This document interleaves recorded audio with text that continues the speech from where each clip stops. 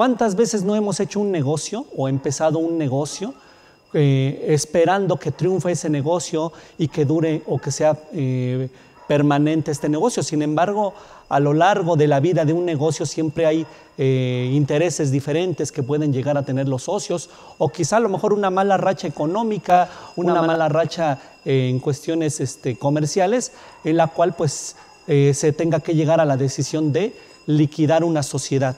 Lo estamos viendo ahora, este, quizá a lo mejor con este desastre natural que, hubo aquí en el, en el estado de Guerrero, donde pues desgraciadamente este, muchos de los negocios que estaban implícitos en este estado, pues pudieran tener la necesidad de, poderse, de poder cerrar y liquidar. Pero bueno, este, Muchas veces les digo, empezamos en negocios o empezamos en una vida eh, empresarial, pues pensando que esta va a ser duradera y con los socios que ya tenemos este, pensados o que con los socios que tenemos o que iniciamos el negocio. Sin embargo, a lo largo de la vida empresarial, pues pueden suceder muchas cosas que puedan llevar eh, a una sociedad a verse en un proceso de liquidación. Pero vamos a hablar precisamente de cómo se va a dar todo este proceso de liquidación y obviamente cuál es el principio de este proceso de liquidación que tenemos que hacer para efectos contables, fiscales y eh, adicionalmente vamos a tener al final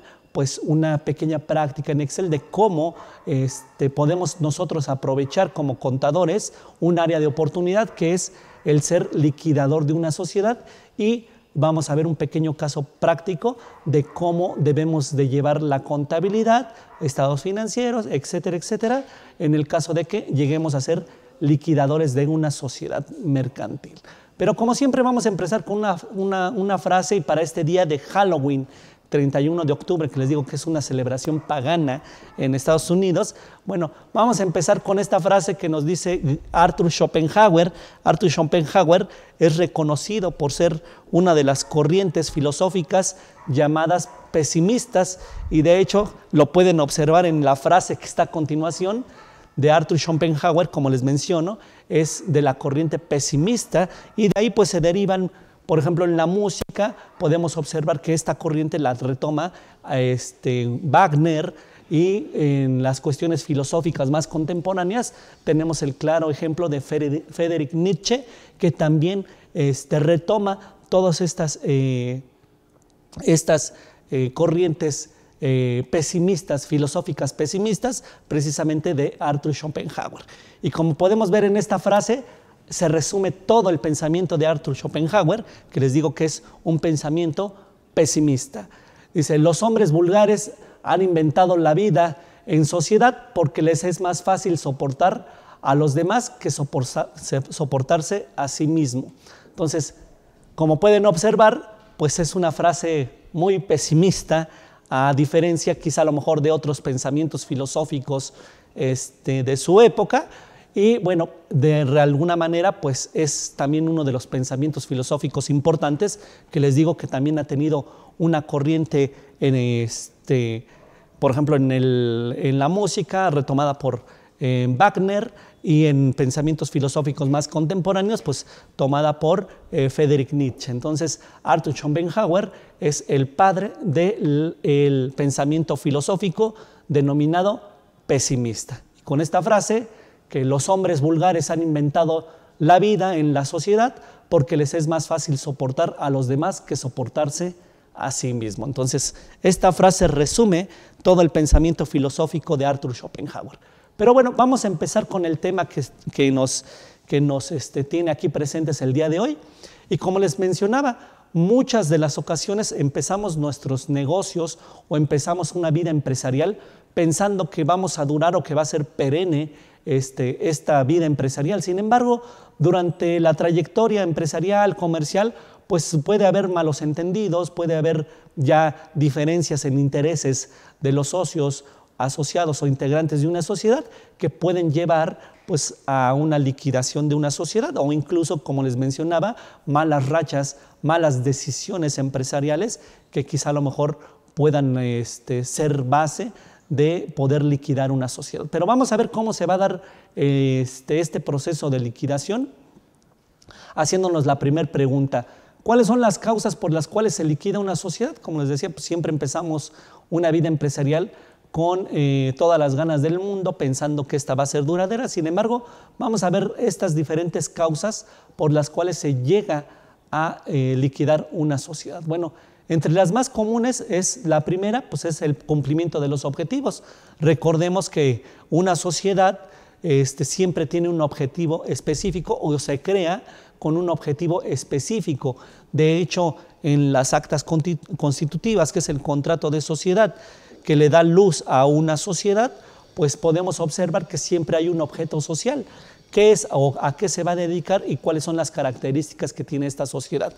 Muchas veces eh, las sociedades buscan un objetivo y cumpliéndose ese objetivo este, planeado, pues prácticamente se llega a una ya liquidación de la sociedad. Entonces, aquí el primer punto o la primera razón por las cuales se pudiera liquidar una sociedad es por el cumplimiento de objetivos, cuando se han alcanzado los objetivos comerciales o financieros para los que fue creado una sociedad.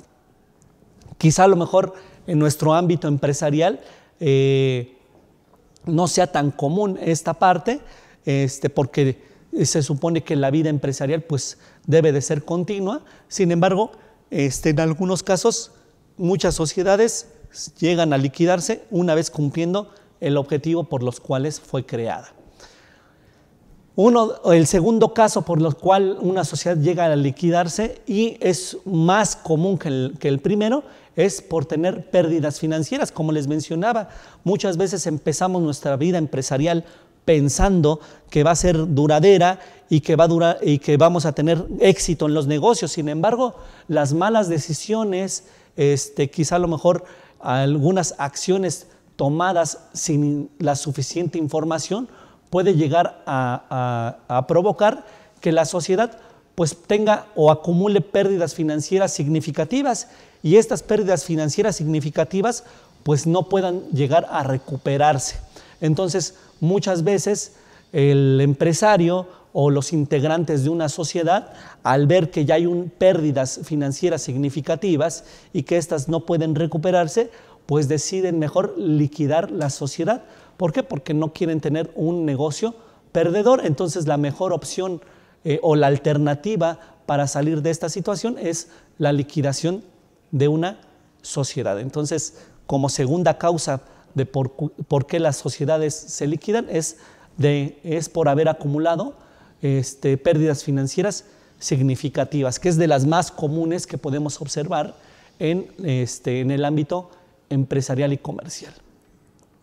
Otra de las, de las eh, causas por las cuales puede liquidarse una sociedad y que es de las más comunes es eh, por un desacuerdo entre los socios. Como les decía, muchas veces cuando empezamos una sociedad, pues nos juntamos quizá a lo mejor con el mejor amigo, con mi familiar, pensando que este, el negocio o que no va a haber desacuerdos en las decisiones que se tengan en el negocio. Sin embargo, este, de acuerdo a los intereses que tenga cada uno de los socios, pues estos intereses pueden chocar entre sí y entonces puede provocar desacuerdos entre los socios.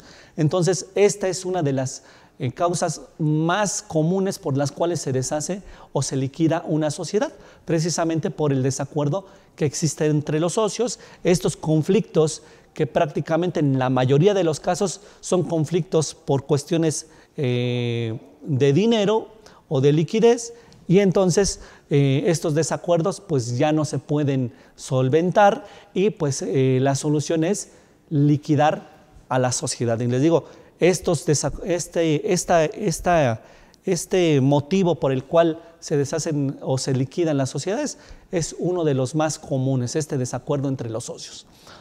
Otro de las eh, causas o causales por las cuales se puede eh, llegar a liquidar una sociedad, pues es por falta de rentabilidad. En este caso, pues nosotros cuando empezamos un negocio pensamos que este negocio pues va a ser rentable. Todos empezamos eh, con la idea de que un negocio pues siempre va a ser rentable. Sin embargo, por algunas cuestiones, ya sea de toma de decisiones erróneas o por quizá a lo mejor cuestiones incluso hasta, hasta de la naturaleza, como puede ser este, este, este desastre que, que sufrió Guerrero la semana pasada, pues puede ser que todas estas cuestiones pues nos hagan o tengamos un negocio donde eh, prácticamente no sea rentable y no hay perspectivas de mejora. Entonces lo que se decide en estos casos es precisamente también liquidar la sociedad cuando este negocio que pensamos que iba a ser rentable y que prácticamente nos iba a dar utilidades y nos iba a dar para vivir para prácticamente toda nuestra vejez o toda nuestra vida, pues eh, por alguna circunstancia, por toma de decisiones erróneas o por, como ya vimos, cuestiones de la misma naturaleza, pues entonces ya, no hay, ya no es rentable el negocio eh, o a lo mejor también pudiera ser que las tecnologías que están eh, surgiendo constantemente en nuestra actualidad, pues hayan rebasado nuestro negocio y nosotros no nos hayamos actualizado. También muchas de la falta de rentabilidad es por no actualizarse, no capacitarse y entonces los negocios se tienen que ver en la necesidad de liquidarse por una falta de rentabilidad y pues no hay una perspectiva de mejora. Y otra de las causas por las cuales se pueden liquidar las sociedades es por cambios en la dirección o en las estrategias de las sociedades. En este caso también pueden ser muy comunes este tipo de decisiones de liquidar una sociedad cuando se dan unos cambios de dirección o estrategias en la, en la guía de las empresas. Simplemente eh, podemos ver que quizá a lo mejor con una administración o con una dirección, ciertos socios integrantes de una sociedad, pues están a gusto, trabajan bien, han llevado el negocio de alguna manera constantemente rentable y creciendo. Y, podemos observar que a lo mejor muere eh, la persona que, que, está manejando o dirigiendo el negocio durante muchos años y llega como en sustitución a lo mejor alguno de los hijos de esta persona, pero a lo mejor este, este, este personaje que sustituye a, a la persona que dirigió durante muchos años el negocio, pues no tiene la expertise o no tiene los conocimientos necesarios en los negocios para poder seguir manteniendo el negocio este, exitoso, o a lo mejor él tiene otra filosofía en los negocios que hace que los cambios sean tan drásticos en la estructura de la sociedad que a muchos socios este, pues no les agrada esos cambios.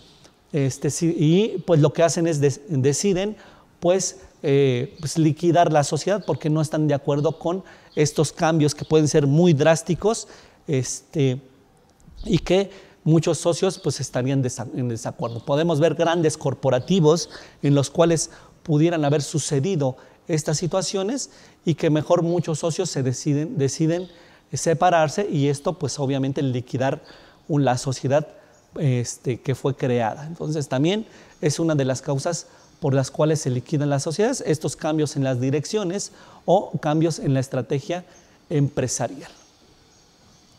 También puede ser una causal de la liquidación, pues el cumplimiento de un plazo establecido.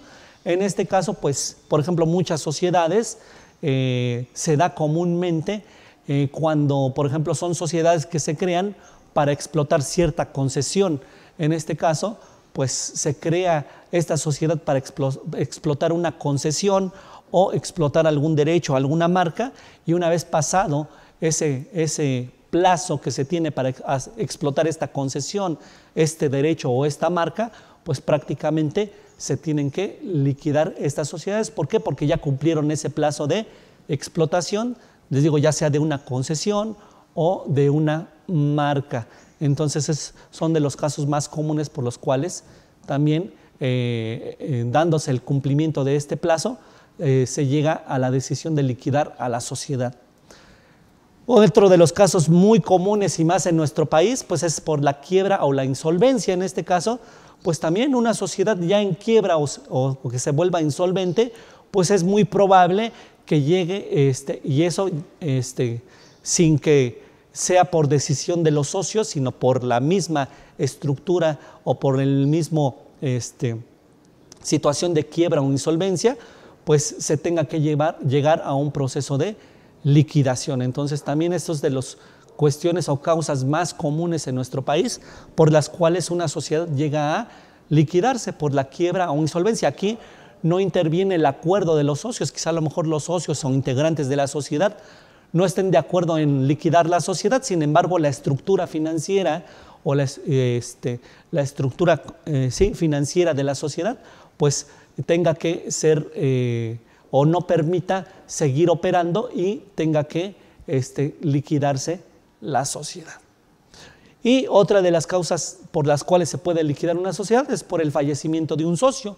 Quizá a lo mejor dentro de los socios fundadores han llegado a, este, a grandes este, alturas con los socios fundadores, el socio que lleva el negocio durante 20, 25 años, 30 años, que es un socio fundador y, que ha llevado a las alturas a una sociedad, fallece y el fallecimiento de este socio, pues obviamente, pues lo que hace es que también muchos de los socios que están eh, conformando una sociedad, pues lleguen a tomar la decisión o el acuerdo de liquidar la sociedad porque creen que una nueva dirección, como ya veíamos en otro punto, pues no sea tan factible este, para seguir el negocio. Entonces también el fallecimiento de un socio importante es causal de una liquidación de sociedades.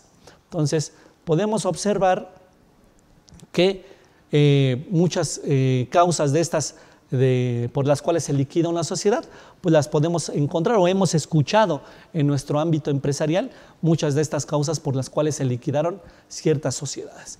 También otra de las causas y que ahora en estos, en estos momentos que estamos viviendo es una de las causas más comunes por las cuales una sociedad llega a liquidarse. ¿Cuáles? Por las decisiones estratégicas.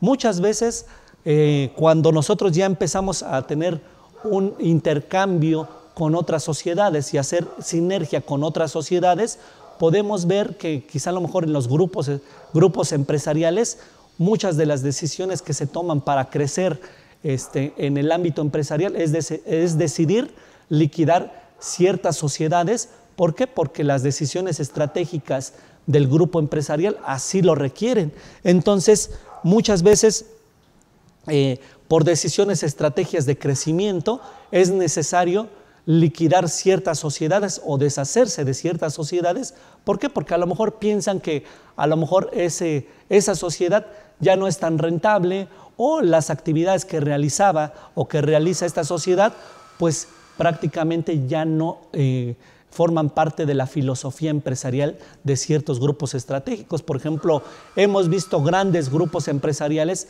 que se han eh, pues prácticamente liquidado cierta, cierto tipo de ramas de negocios como son las restauranteras, las hoteleras, etcétera, etcétera. ¿Por qué? Porque ya no van dentro de la filosofía o dentro de la estrategia eh, que tienen eh, empresarial y es necesario liquidar esas sociedades.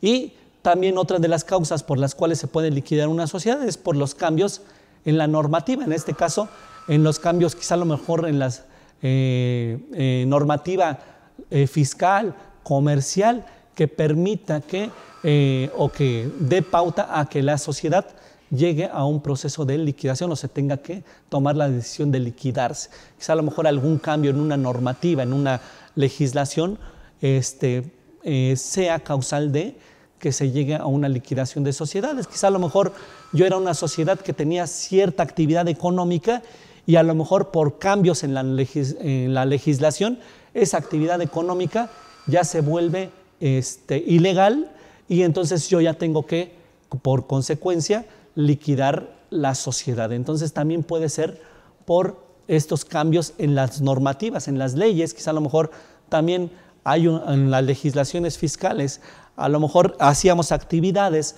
por las cuales no se imponía un tributo o un impuesto o contribución y ahora con el cambio de la legislación fiscal pudiera ser que esa actividad que yo realizaba y que no tenía un gravamen como tal tributario, pues ahora lo tenga y eso prácticamente impacte en mi cuestión de rentabilidad y se decida o se llega al acuerdo de liquidar a la sociedad. Entonces, este, estas son algunas de las causas por las, cuales, por las cuales se puede liquidar una sociedad. Como podemos observar, dentro de estas 10 causas por las cuales se puede llegar a liquidar una sociedad, muchas las hemos escuchado y entre las más comunes pues tenemos los desacuerdos en los socios por quiebra o por insolvencia o en este caso cuando ya no es rentable la sociedad. Pero existen eh, todas estas eh, causales que son las más importantes por las cuales se llegue a liquidar o se llegue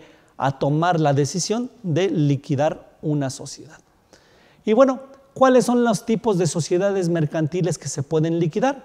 En este caso, de acuerdo a lo que es la Ley General de Sociedades Mercantiles, vamos a tener estas siete sociedades que son sujetas a poderse liquidar. En primera instancia tenemos lo que es la sociedad de nombre colectivo, que es una sociedad que está establecida dentro de la Ley General de Sociedades Mercantiles y a lo mejor quizá este, el uso de este tipo de sociedades en nombre colectivo ya no sea tan común en nuestra práctica empresarial. Sin embargo, bueno, este, dentro de lo que son eh, la Ley General de Sociedades Mercantiles, todavía está inmersa esta sociedad y que ya es de muy poco uso.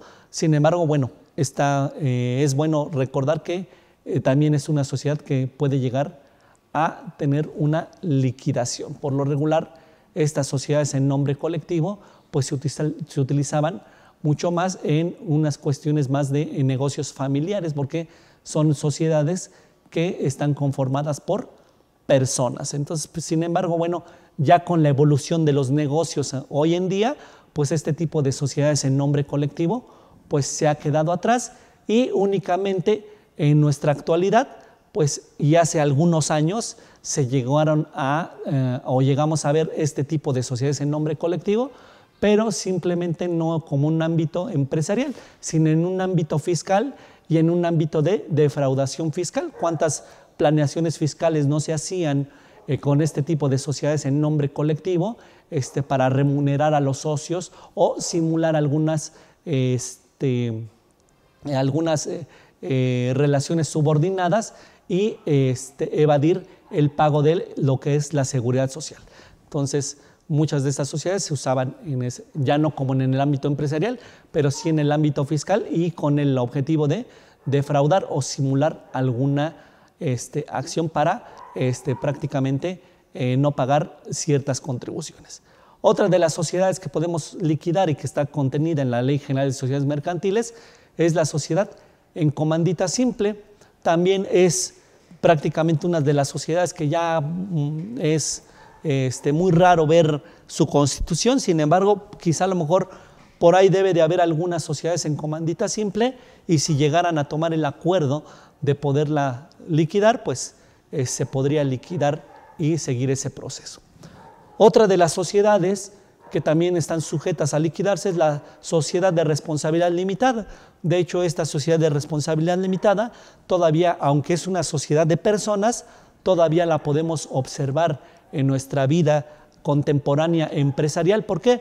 Porque a pesar de que es una sociedad de personas, muchas de este tipo de sociedades este, son utilizadas en el ámbito corporativo por grandes transnacionales. Si ustedes se dan cuenta, este, muchas de las transnacionales que tenemos en nuestro país no son sociedades anónimas, que como comúnmente podríamos pensar, sino son sociedades en responsabilidad limitada.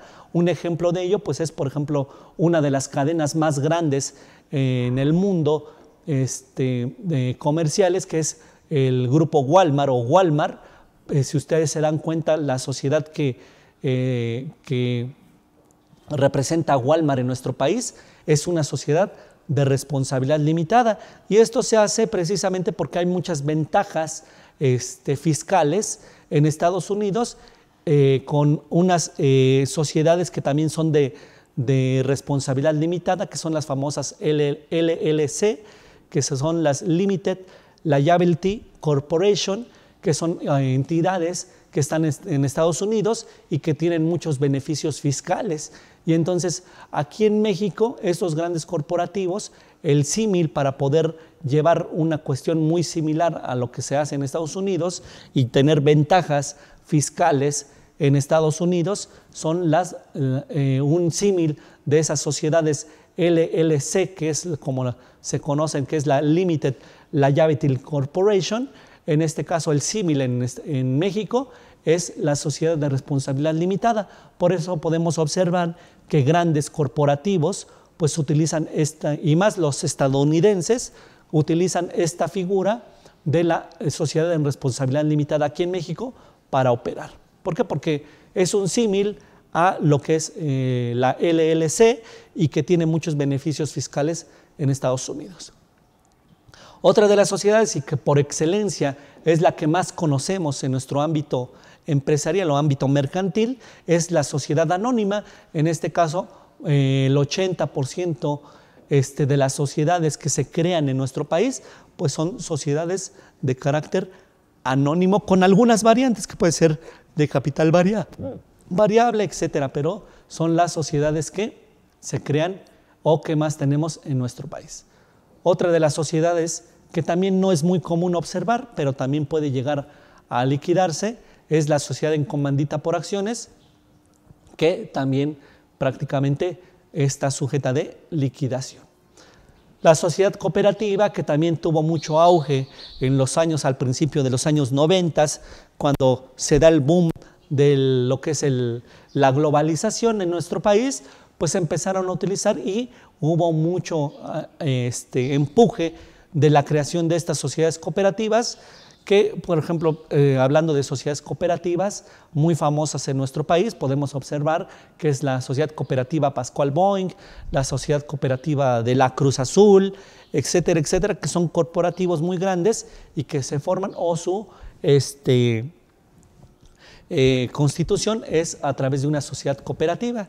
Y recientemente, a partir del año 2018, aparecen lo que son las eh, sociedades por acciones simplificadas que vienen a romper el esquema que conocíamos tradicionalmente de sociedades, que eh, pensábamos que las sociedades se conformaban por dos o más personas. Sin embargo, bueno, este tipo de sociedades por acciones simplificadas, podemos observar que su constitución basta con una sola persona para poderlas constituir.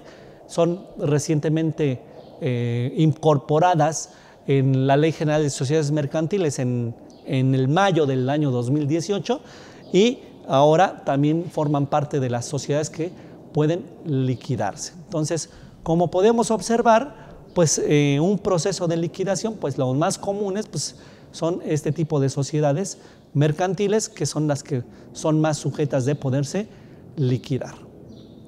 Y bueno, pero para entrar en un proceso de liquidación, siempre la etapa anterior es primero un proceso de disolución. Cuando estamos hablando ya de un proceso de liquidación, siempre en primera instancia tenemos que llegar a un proceso de disolución. Antes de llegar a lo que es la liquidación, el, proceso previo es la disolución de una sociedad. Entonces, cuando ya hablamos de un proceso de liquidación, es porque ya de antemano pasamos por ese proceso o ese acuerdo de disolución de una sociedad. Pero ¿qué es la disolución de una sociedad? Vamos a ver qué es la disolución de una sociedad. Prácticamente la disolución de una sociedad es la situación por la cual una sociedad pierde la capacidad legal para el cumplimiento del fin por el cual fue creada o subsiste. Y en este caso, eh, la disolución es a base de una resolución o un acuerdo entre los socios o integrantes de una sociedad. Entonces, un proceso de disolución es cuando los socios o integrantes de una sociedad por acuerdo común entre ellos deciden ya mm, eh, disolver la sociedad, deshacer la sociedad, este, por algunas de las circunstancias que nosotros ya observamos en puntos anteriores. Eh, la disolución se da cuando se toman acuerdos entre los socios para poder eh, que esta sociedad pierda su capacidad legal para el cumplimiento de sus actividades por las cuales fue creada. Y obviamente este proceso de disolución es un acuerdo que se tiene en base a todos los integrantes o socios o accionistas de una sociedad. Entonces, antes de llegar a un proceso de liquidación de una sociedad, primero debemos de tener en cuenta que debemos de llegar, o la primera instancia antes de llegar a un proceso de liquidación, es un proceso de, o una, un acuerdo de disolución. Ya por algunas causas que vimos en puntos anteriores, decidimos que ya no queremos seguir con la vida empresarial de la sociedad, entonces llegamos a un acuerdo de disolución y después de ese acuerdo de disolución ya procedemos a lo que es todo un procedimiento de liquidación. Pero antes...